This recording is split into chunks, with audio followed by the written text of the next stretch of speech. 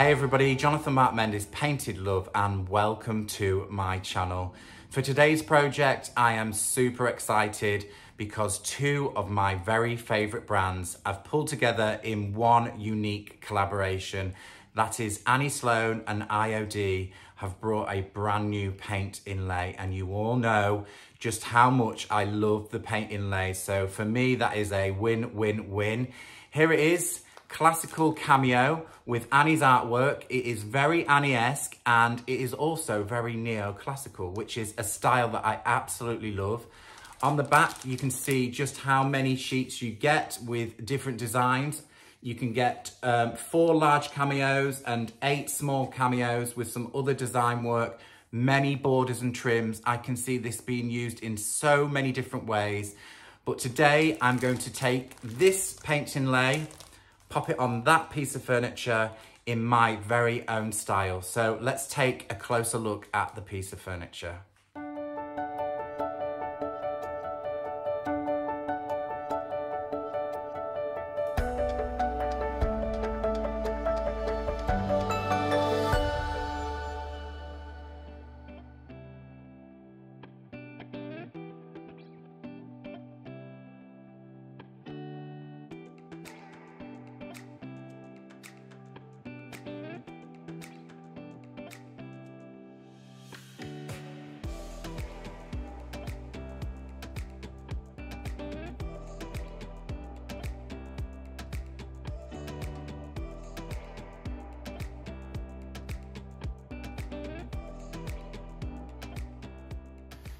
The first thing that I'm going to do with the paint inlays is I've removed them from the packaging just to take a look at the colourway. So sometimes the colouring on the design on the outside of the packaging is slightly different to the colouring on the inlay. So this is giving me a good indication of what colours to choose for the overall piece. So I want to go with something that will contrast quite well. Annie has been very clever. She's used quite neutral colours in the paint inlay my initial reaction is to go with something soft grey, blue tones, or even soft chateau grey tones, but I'm gonna just throw everything at this and I'm gonna go pink. Um, it's a while since I've used Scandinavian pink, but I'm gonna soften that pink down. We're gonna use it with these paint inlays. I think pink will be a great color as long as it's kind of very muted in its tone. So I've made my decision on pink. I'm gonna start layering up the piece. I'm gonna do an undercolor and slightly texturize that. You will have seen me do this before. I did it a few weeks back on the large wardrobe. I just want to put a little bit of paint on and drag the brush over the surface so we get a few little anomalies and then we'll start applying the pink tones over the top and maybe a colour wash get the piece of furniture to a point where I'm really happy with the overall design before applying the paint inlays with lacquer. So off with the handles, first coat on, pop your paint inlays to one side out of the way of any paint or moisture because don't forget these are active. This is real paint on the surface. If you get these wet, it will activate. If you get a blob of paint on there, it will cause an anomaly on the surface. So pop them back in the packaging and then pop them to one side and then start painting.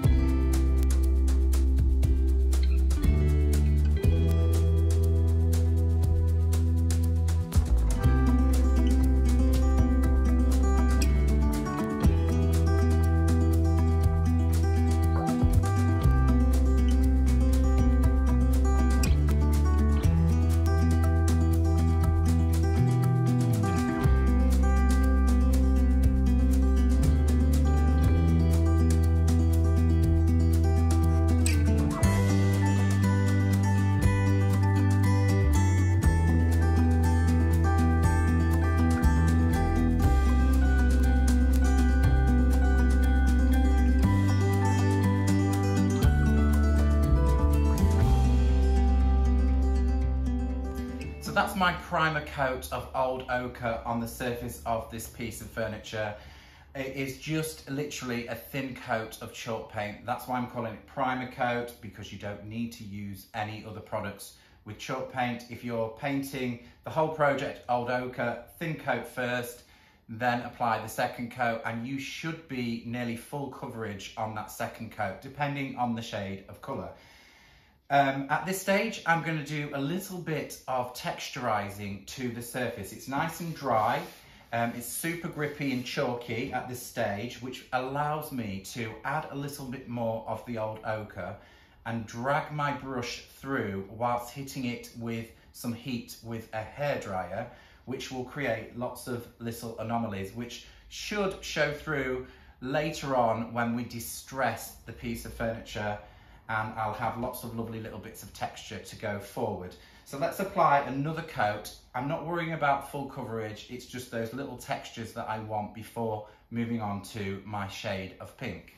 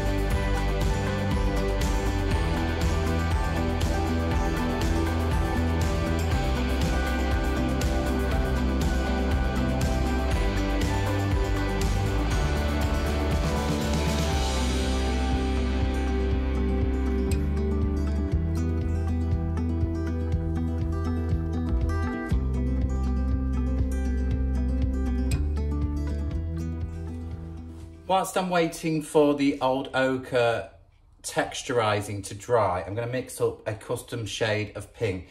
I love Scandinavian pink, but it's a little bit too bright. So what I'm going to do is I'm going to take some Scandinavian pink to my container. We'll call it that. Then I'm going to uh, add some Chateau Grey, which should neutralize some of the pinky tones not as much. And I'm also going to go back in with a touch of old ochre, just to lighten a little bit less of that. And we're going to mix these three together to see what we get. Um, it should be a pale shade, but slightly more muted, softer pink.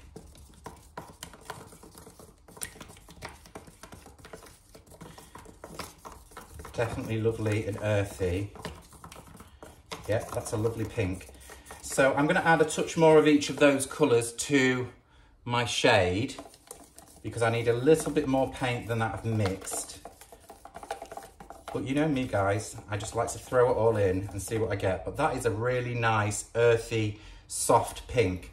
Okay, so the old ochre texture has dried. So I'm gonna move on to adding a thin layer using my atomizer and oval brush over the surface in a random sort of fashion, um, a soft sort of blend with the old ochre.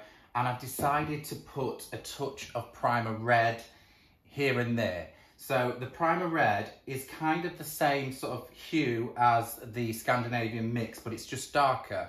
And I'm gonna do a kind of wet on wet blend, adding the primer red anywhere perhaps that you would dark wax a piece of furniture. So in the apertures, maybe a bit heavier on the lower half and then just blending with, I've got two brushes because sometimes it's nice to blend with a wet brush and a dry brush and just kind of mark out a little bit of tonal difference to the surface. So wish me luck guys. Let's hope we get a lovely kind of soft blend with the two colours and then we can move on to the next step which will be probably colour washing and distressing. Haven't decided on what tone of colour that will be but I'll look at the piece and then work that out as we get there.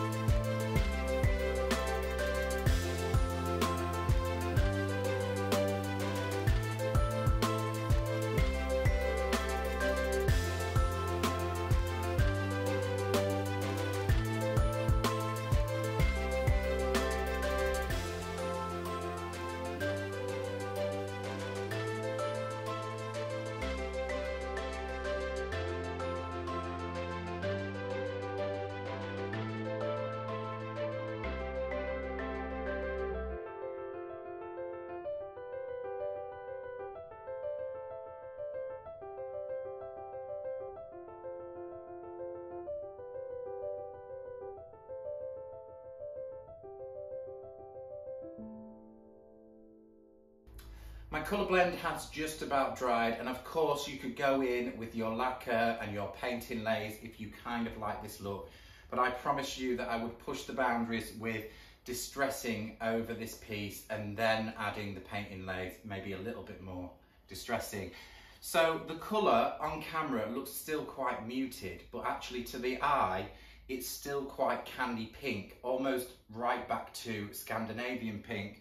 And I think that's due to adding the primer red. It's kind of pepped the pink back up.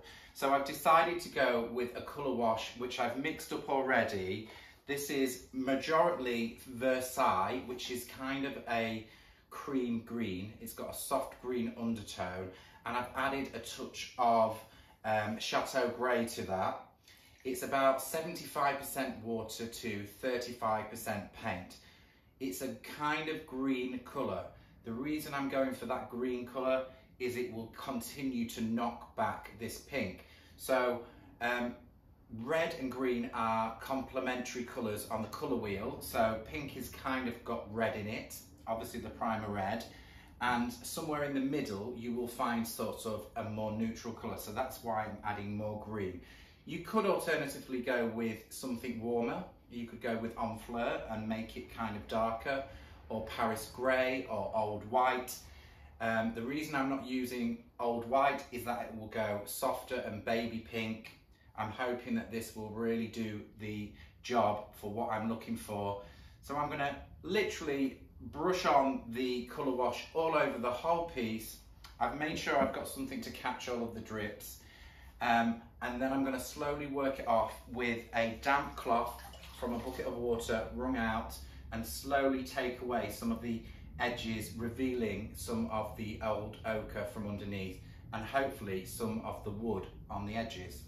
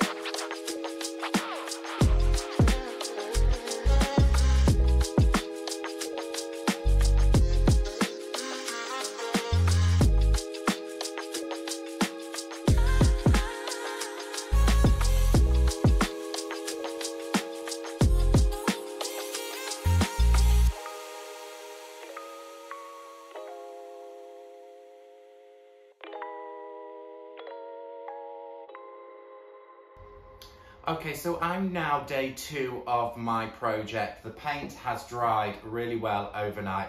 I would suggest you would leave it quite a long time because there was a lot of water involved in the distressing part of the technique.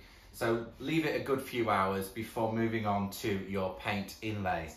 So I've pulled a few of the um, images out of the packaging so I can kind of get a mind's eye of where I'm going to be placing these. I do know that I want to have one of the big cameos in the center. I'm not too sure whether there's enough room to have two side by side on this piece. I suppose this is the most difficult part of the process, choosing where you apply your paint inlays. So I'm going to cut up a few of the trims and the cameos so I can lay these down as a dry fit so I can see how it looks over the overall piece. I have this trim with the pointy fluted edges and I really like that. It kind of mirrors into the design work that's carved into the detail, almost as if it came from the same sort of mind's eye. And I think I'm gonna use this around the edge of the aperture of the door. I don't know. So what I'm gonna do is take a little bit of time, cut these out to the edges, and then we can lay them down, dry fit them, and really come up with a great pattern for the overall piece.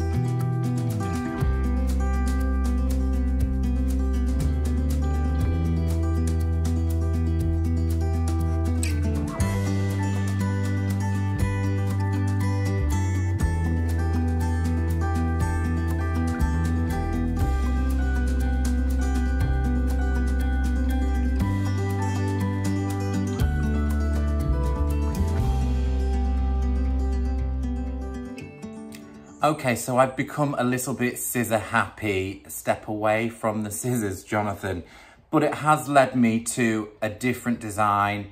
Um, what I did do is remove the thin grey border from the edge of here, just to see whether it would help me fit everything into the aperture. Um, that didn't work. Um, so the corner pieces that I cut up to make the square, I decided to lay them down in a different way and it has led me to a great idea, I think, which kind of fits.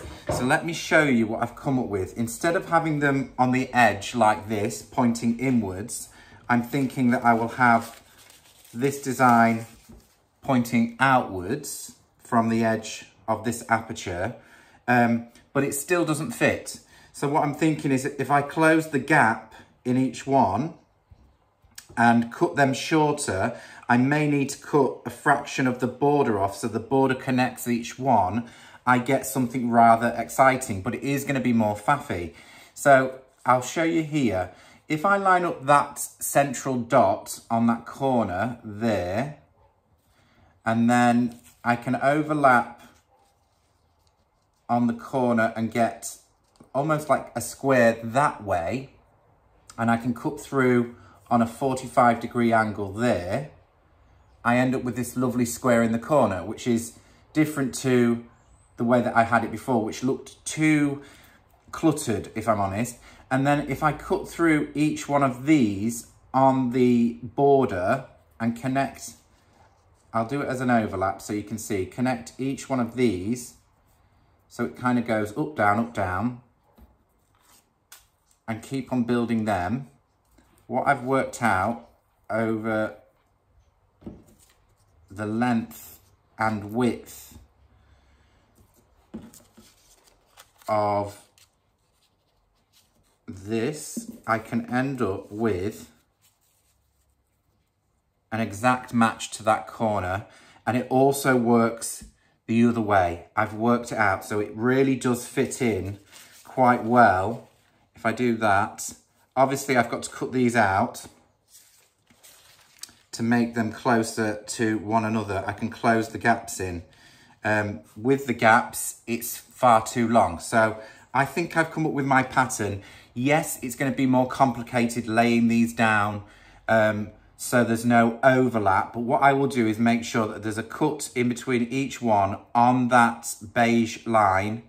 And then they should join really lovely ending up with great corners. So I think what I'll do is I will start with my corners, make my cuts, my 45 degree cuts, and lay them down first.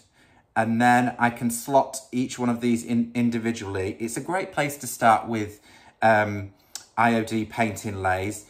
Quite a complicated um, part of the project, but I'm really happy with that. Then I'm thinking I will have two of these left over. I've worked it out from one pack, I'll have two of these left over. I'm thinking I might even add um, just underneath, once this is um, cut out, so I may cut right up to the edge of these little beads and then lay this one over the top. So I've got one each side and then maybe we'll add the grey trim wherever that went. Let's bring back some grey trim.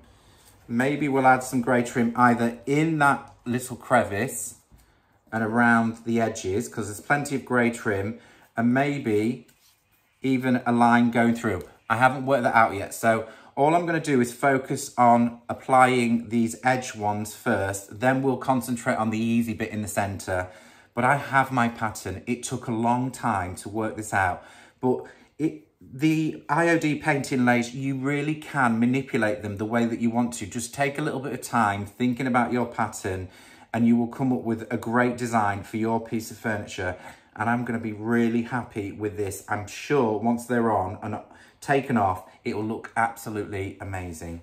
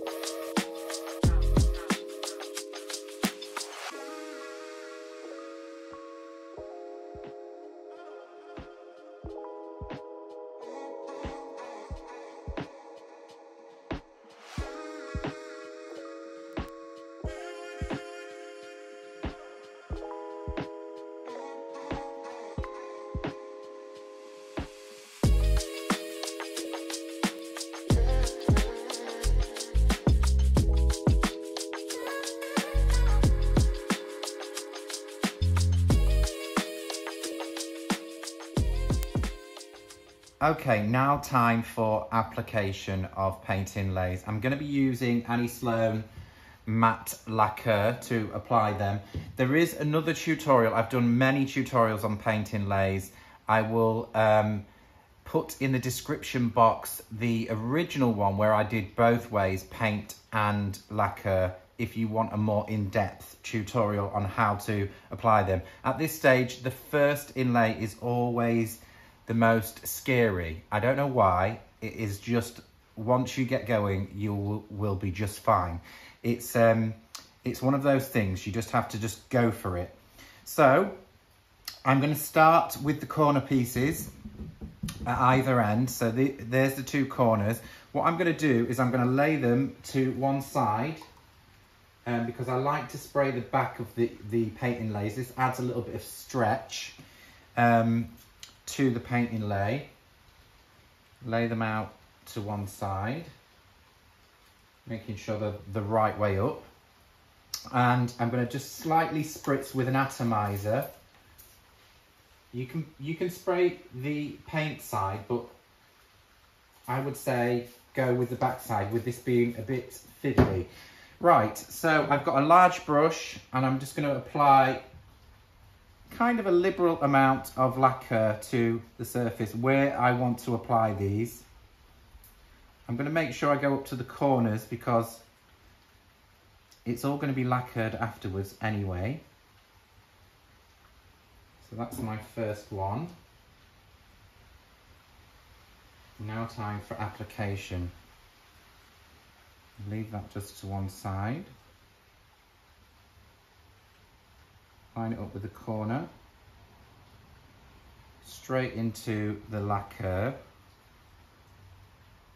and the same again, making sure we get that pattern nice and matched.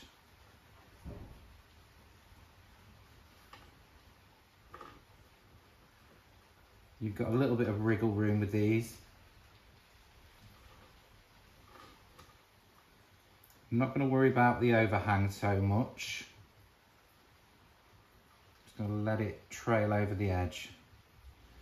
And that is my first paint inlay in.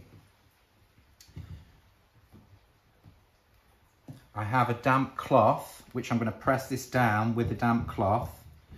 You could use your atomizer, but make sure you get good contact to good contact. They have to be wet on the back for this to for the magic to happen. I'm trying to be clean about it with the, um, the damp cloth. Right, let's go in with the other corner.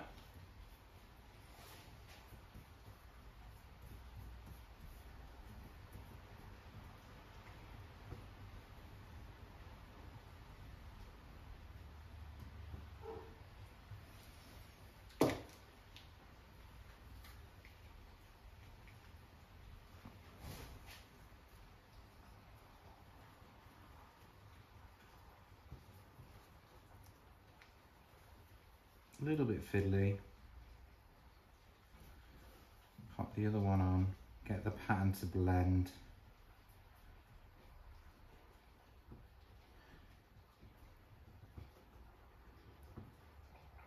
Everything meets up nicely.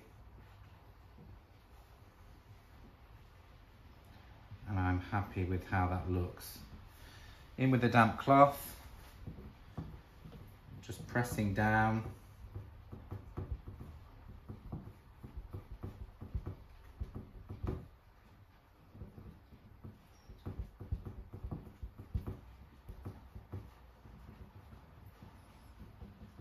Nice and smooth. So now I'm gonna move along to adding these. Here's all my paint inlays, so I can take them to one side again.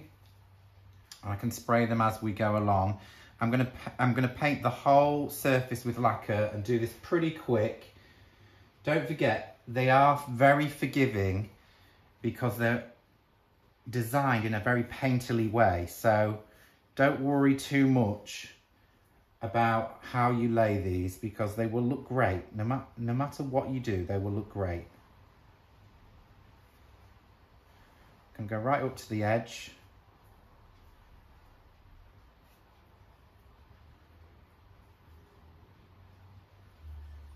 And then we can go in one by one with the inlays.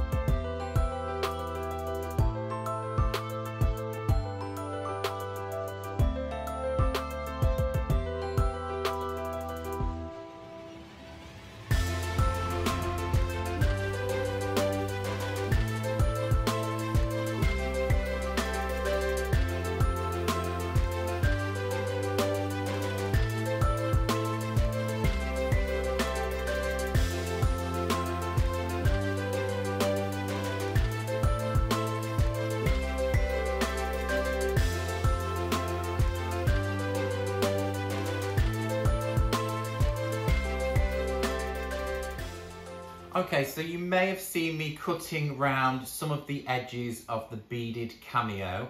I'm going to be using the um, male cameo for the front and the reason I've cut round the edge is just to make life easier. I know that once I layer these um, paint inlays down, so the cameo will go first and then the border that I've selected to go through the middle will go over the whole thing. So once I have my lacquer on, I know that what sits underneath the cameo will not transfer to the design. It will only be the edges. So it should look something a little like this when it's transferred. That will run through the middle. The cameo will run over the top and we'll have nice clean edges. Of course, you could cut the center section out of that border, but I'm just making life a lot easier because I'm applying these all by eye. So I know that this border will be central to the two center designs and the cameo will be centered to the lower two designs. It may be slightly out, who knows? It's one of those things. You could measure and make little marks, but I just love risking it for a biscuit and just going for it. So in with the male cameo first, and then we'll layer up the um, the bordered trim all the way through.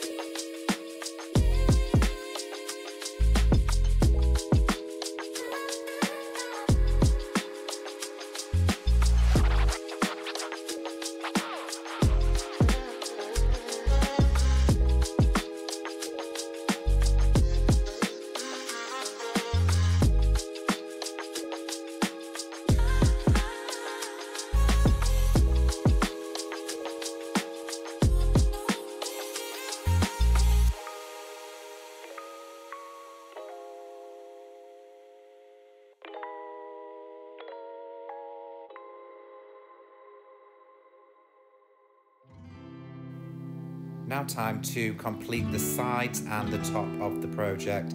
I've selected a few of the border trims just to go top and bottom of the sides and the smaller cameo to go in the centre.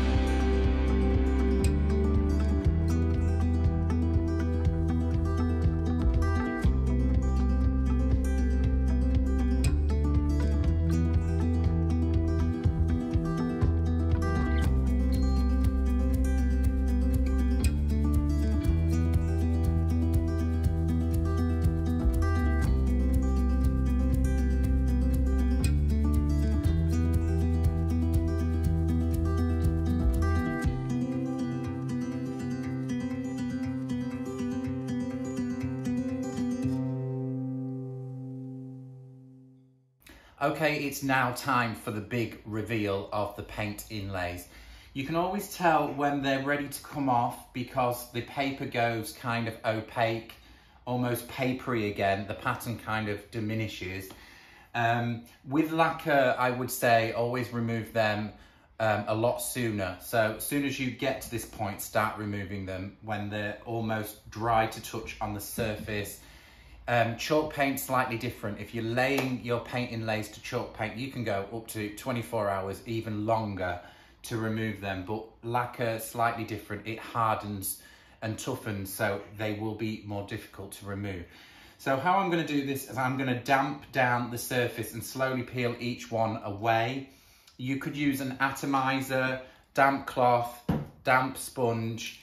Uh, I'm gonna use probably all three um, what I find is with anything with black, if you saturate the surface too much and the water runs behind the paint inlay, then you could get some um, paint kind of trickling away. I have got one or two areas of bleed through, not from the piece of furniture, bleed through from the paint inlay because I pushed the inlay into the wet lacquer and moved it around. That's something that I will have to address maybe with a touch up of pink. Who knows? When we take them off, I'll be able to see just how good this is.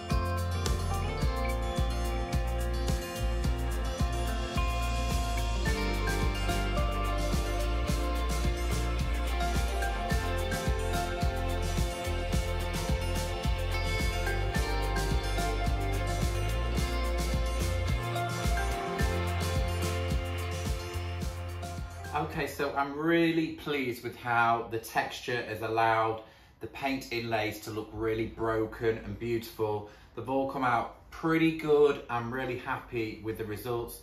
There's a few things that I want to do to uh, add a little bit more interest to this.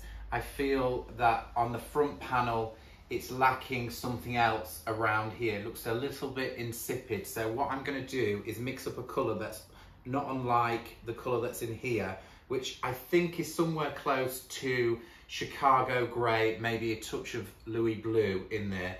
And I'm gonna pop it into that little groove, top and bottom. And I think I'm also gonna add a, a key line in um, Athenian black along the top. So it just adds sort of a bit of depth to top and bottom of that panel. I've also got these little knuckles on the um, legs, which I think I'm gonna paint out in the other colours, sort of the um, country grey colour and the blue. Also, I haven't decided what to do with these little um, carved details. I'm thinking that I might try and marry them into the pattern here, the same two colours, a bit of white in there.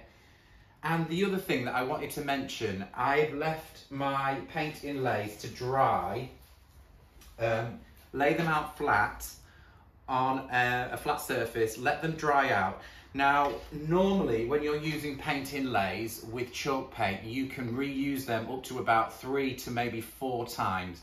When you're using lacquer on the surface, it kind of seals in the paint side, so you cannot get another use. But um, a little friend of mine mentioned to me, well, I use them to decoupage, which I think is a wonderful idea. So what you can do is dry these out, cut the, cut the details out and then glue them face side up into a project so you can get a second use out of the painting inlays when you're using lacquer with decoupage, which I think is an awesome idea. I cannot remember who told me that, but somebody did, and it is such a good idea.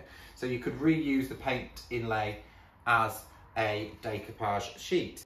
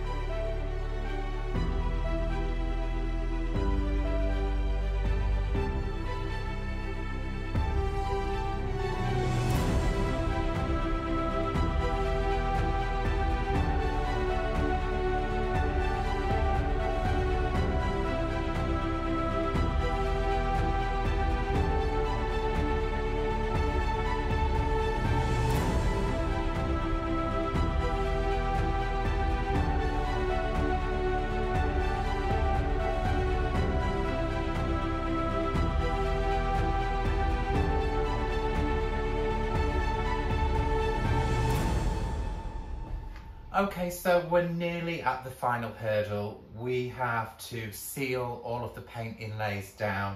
I'm using 50% water, 50% matte lacquer, Annie-Sloan matte lacquer through my spray bottle.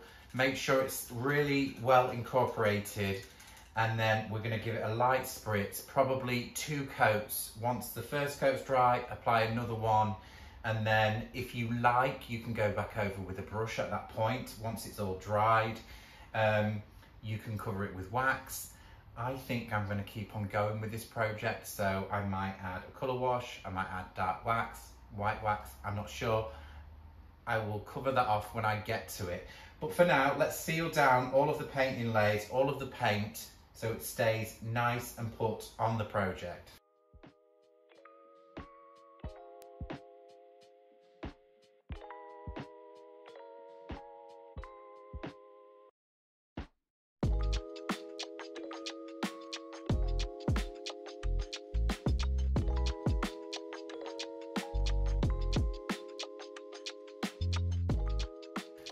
So my lacquer has dried really, really well and I'm gonna go back in with a little bit of sandpaper just to reveal some of the texture from underneath, the old ochre that we originally applied to the cupboard. And I'm just gonna break the surface around the edge, just revealing some of that lovely patina. We'll do some on here where there's some texture.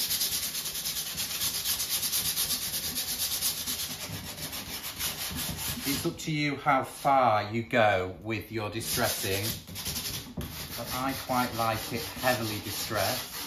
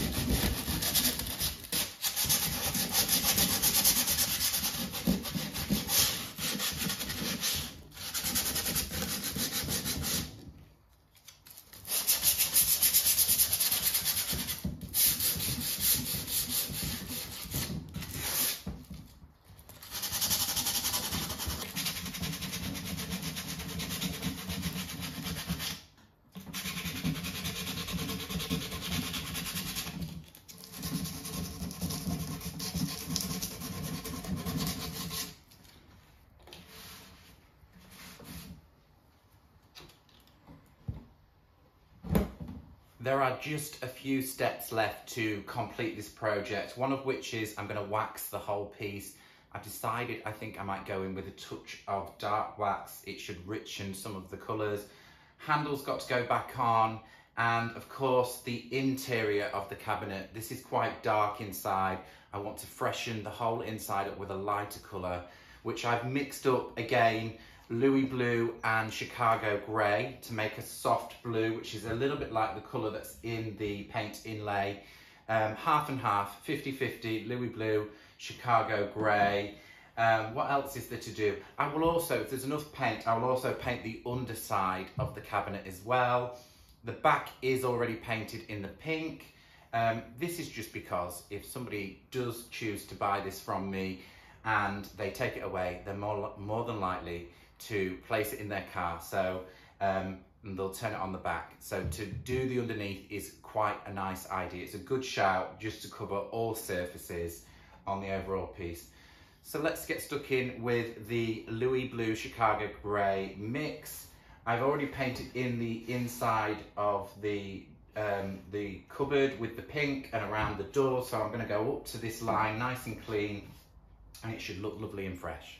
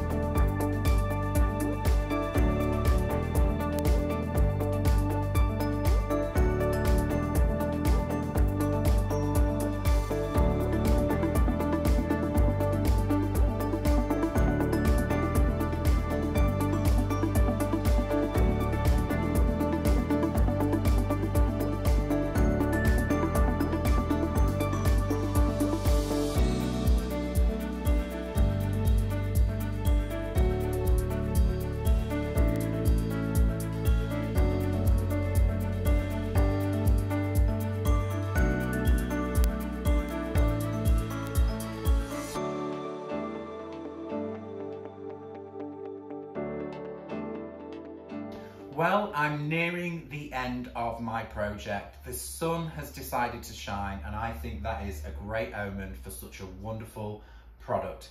So a big shout out to Annie Sloan for designing something that is so amazing and I can see you guys using it in so many different ways. And also a big shout out to the IOD sisters as well because they have designed a very unique product for the furniture painting market and I absolutely love it. I may have said that already at some point. I love IOD painting inlays. So the final thing for me to do with this project is I'm going to give it a coat of clear wax. Now you don't need to do this if you've already given it two coats of lacquer, but I love the soft luster of wax. I may add a touch of dark wax to some of the details and of course the handle must go back on and that's my project finished. So please stick around till the end shots of the overall project so you can see all of the finer details. And if you're here on my live premiere, thank you so much. You guys have been here week in, week out with me on my premiere. Don't forget to watch to the end, tune out, then find the video again and leave me a comment because you know what that does. It helps the algorithms to the overall tutorial. But much love and thank you so much for joining me and Mr. M once again on this tutorial. I will catch you all next time.